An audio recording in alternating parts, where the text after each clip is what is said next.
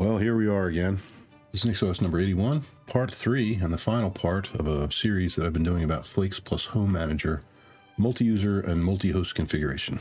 A link to the talkie script that I'm using to read from in this video will be available in the description.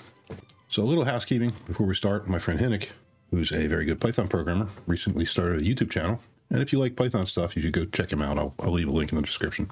He'll soon crush me in, in YouTube ratings because he's completely shameless. But I have temporarily at least a few more subscribers than he does. So this is kind of really the only time I can promote him before he goes Mr. Beast. Anyway, a link to his channel will be in the description. On to business. This video will kind of presume that you've watched part one and part two of this series.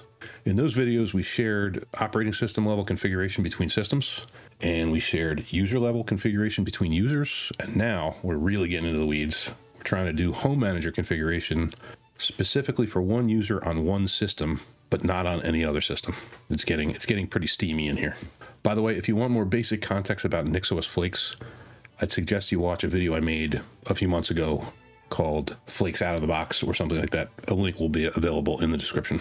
In part one of the series, I created a Flake based NixOS configuration that can configure three different hosts, and I pushed it up to GitHub. And then in part two of the series, I added some home manager configuration into the mix for two users, Alice and Bob. As of the end of video two, all three hosts share a common set of globally available programs and services. However, one of them runs a Postgres service that the others don't. And Alice, that Minx, has access to all three systems. But Bob, that poor sap, only has access to one of them. So what's left to do? We want host 2 to have a special home manager configuration for the Alice user. In particular, it should run a user level systemd service as Alice. This is not the same as a, as a system level systemd service. Uh, I made a video about systemd user services uh, that you can just, if you look on my channel, you'll you'll find it. We want one of those. We also want host three to have a special home manager configuration for the Bob user. This configuration should add an additional shell alias for Bob that is not shared by Alice. However, this alias should only be on host 3 for Bob. It should not be on host 1 or host 2 for Bob. Steamy, steamy. So let's talk about Alice's host 2 systemd user service. Let's imagine that we want to run a simple HTTP server as the Alice user on host 2 using a systemd user service. This HTTP server should let anyone display or download files from the etc NixOS directory that is on host 2. So at this point, I do have to admit that I have been through this entire video before. I sat here talking to myself like a mental patient for about 45 minutes and I was not recording. All of the configuration has already been done and checked in to Git. I, I had meant to present to you as if it was new. We're going to have to just cope in my ASCII aquarium. This is actually host 2. I've changed host2.nix inside of our etc NixOS directory. I've added this home manager users Alice thing here. Let's see. Home manager users Alice systemd user services show nix config. We're creating a show nix config systemd user services by virtue of putting it inside this home manager users Alice thing. It's just a simple Python HTTP server that will run on port 6543 and it will serve the files that are inside of etc NixOS. It's already activated, but I'll pretend it's not.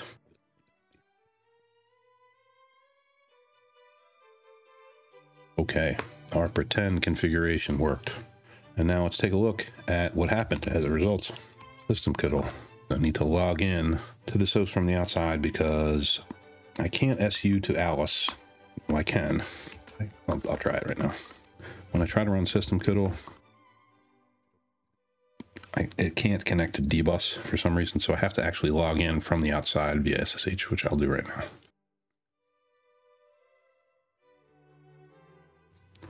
Okay, I'll try the same command again. Status go nix config. Okay, that service is running as a result of us running NixOS rebuild. And let's test it out. Have to install so telnet localhost 6543. Indeed, it answers us. Let's see what it returns when we ask it over HTTP for the root page. It shows us an index of the files that are inside of our etc NixOS directory, which is exactly what we want. Not a very interesting service, but the interesting bit about it is that the service will only run on host 2 not on host 1 or host 3. The code that we added into host2.nix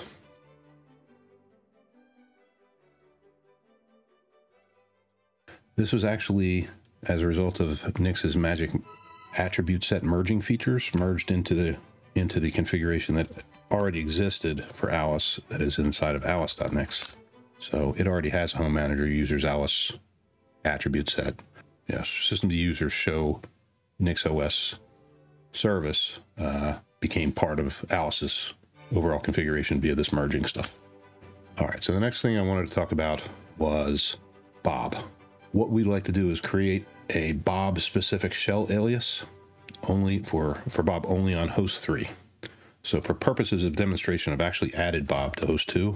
And if I su to Bob, I can run LL right now, which is a which is an alias that comes from home.nix, which Bob includes inside of his home manager users Bob thing here.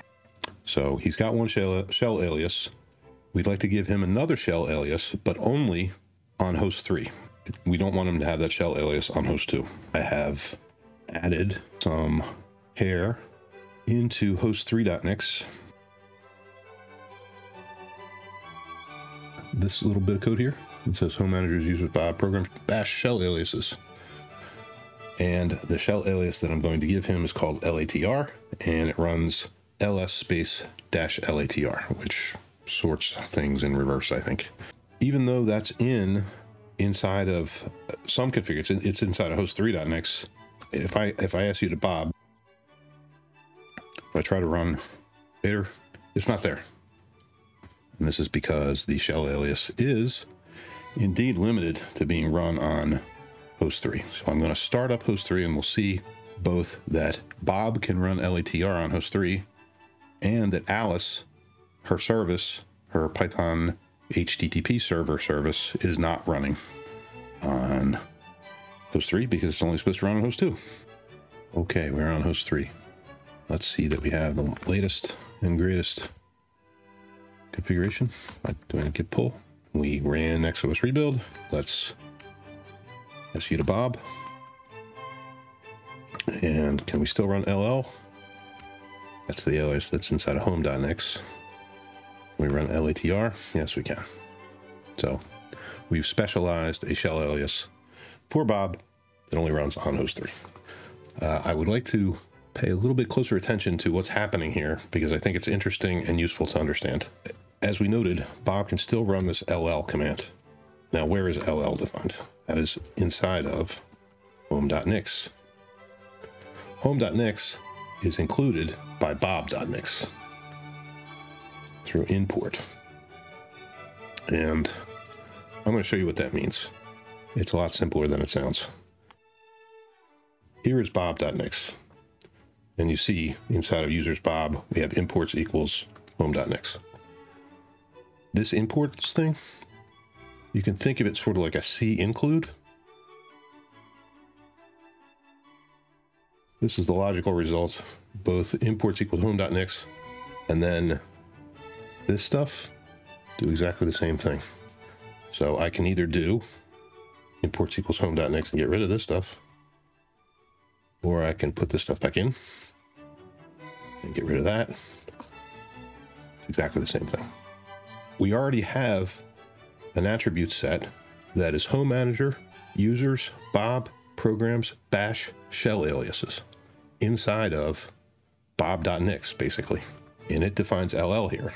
So we are also defining it the same attribute set, adding to it home manager, users, Bob, programs, bash, shell aliases.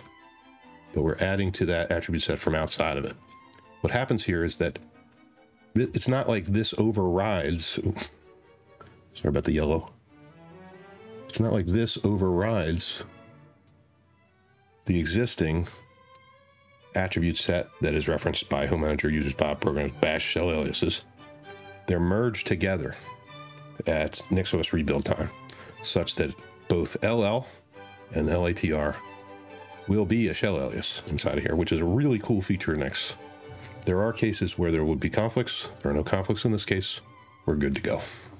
Okay, so I think we're done with this series. Uh, if you followed this dumb series of videos, thank you. If it helped you, please let me know. Personally, I think the way that NixOS handles this stuff, this multi-host, multi-user centralized configuration is the bomb. I sometimes absolutely loathe the Nix language because it can be quirky and opaque. But I do think the end result it gives you, especially when it's used inside of NixOS, is terrific. And not in small part due to the features that I've covered in this series, it's just insanely useful. I've been using Nix for about two years. And I would find it pretty difficult to use a different operating system at this point. I actually fired up Ubuntu the other day to diagnose some graphics driver thing. And I'm no stranger to Ubuntu. I used Ubuntu for almost 20 years, since what, 2003 or something, four, until I switched over to NixOS. Anyway, I, I fired up Ubuntu the other day to diagnose some NVIDIA graphics thing that I was trying to make work on NixOS, and I just wanted to make sure that it wasn't NixOS's problem, and I could I could test it against Ubuntu because that's you know the default Linux more or less. It got itself into a state that no matter what I did, NVIDIA graphics would not work. Now, granted, I had messed around with it before. I installed some stuff from NVIDIA themselves rather than using stuff from the Ubuntu repositories. But I apt installed, apt purged, apt repository, I apted everything. I'm a pretty pretty tenacious troubleshooter. I was utterly defeated. I, I, I reinstalled Ubuntu and it worked clearly, and whatever. I will say that the that experience is not it's not a terribly common thing under other distributions. Usually, I'm able to solve that sort of stuff. But I will say, in the two years that I've been using NixOS, that really hasn't happened. Uh, and the reason it hasn't happened is because I am not burrowing my way through the file system, leaving turds behind as I try to diagnose something. I am changing a configuration file and it is doing stuff on my behalf, which I really appreciate because you know, you make changes and you don't remember what you did and and you leave your system in a host state and you wind up having to reinstall at some point. You know, it just it just happens. Very rarely does this happen with NixOS. If it happens, it happens to a bunch of people and they get they get upset. I mean, things break, but there's always a reason and more or less reasonable way to solve the breakage. I was reminded through that experience that as much as I often curse Nix the language, I hate configuring systems by hand even more. So anyway, I hope you enjoyed this. Thanks for watching.